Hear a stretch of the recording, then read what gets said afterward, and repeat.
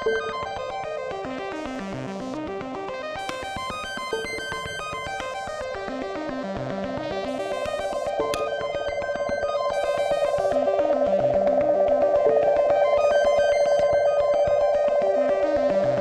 じセンス持ってるじゃないですか私たち。本当だよ。恥ずかしくない？これ。ちょっと恥ずかしい。どうしようか。okay じゃあ行こうか。行こうか。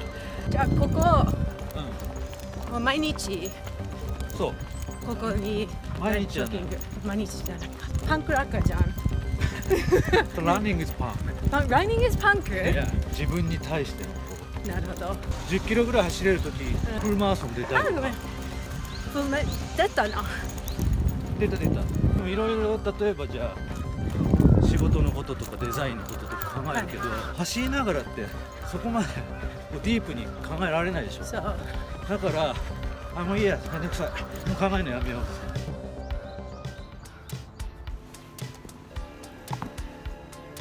パート2パート2朝の爽やかな感じと、今のちょっと暗い感じの、なんだろう差が結構ある。あ俺？うん。あそうでもないですか？変わんないよ。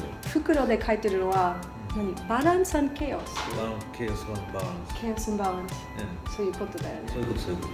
常になんかそういうケースの中でバランス取るみたいな。うん。まあ服のデザインもそうだし自分の考えてることもなんかそういう感じなのかなっていう。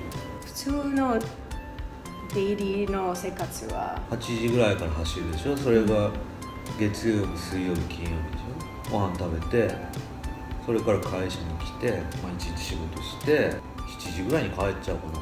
で家で家族でご飯食べて。普通？普通だよね。でもそういうファンタジーのアイディアはどこから出てくる？